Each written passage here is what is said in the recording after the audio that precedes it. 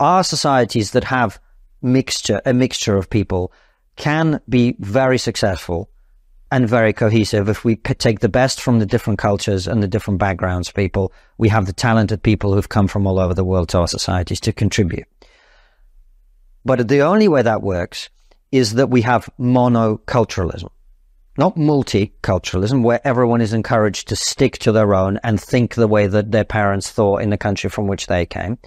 Uh, it works if there's an overarching identity and we say, I may have been born in Russia, you may have been born in Australia. Suella Braverman was born in London, but her parents were born in different parts of the world. And we all come to Britain and we become British. It does not mean that we must force people to reject their heritage at the door.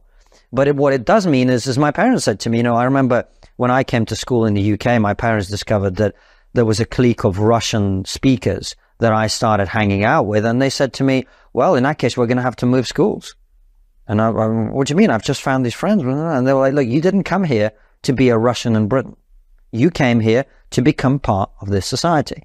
And multiculturalism has failed because it has failed to recognize the difference between a multi-ethnic society where everyone is encouraged to become one thing and a society where we have no desire for you to integrate. You want to speak a different language? Fine. You want to practice uh, a completely different cultural set of values and beliefs about all sorts of different issues that actually matter? Fine. You want to have a, a different uh, approach to, you know, you, you, you want to start advocating for a different legal system in our society. Fine. You want to uh, undermine the very basic values of, of the way that we do things. Fine. You want to live entirely within a community that looks like you and speaks a different language and, and is completely ghettoized. Fine.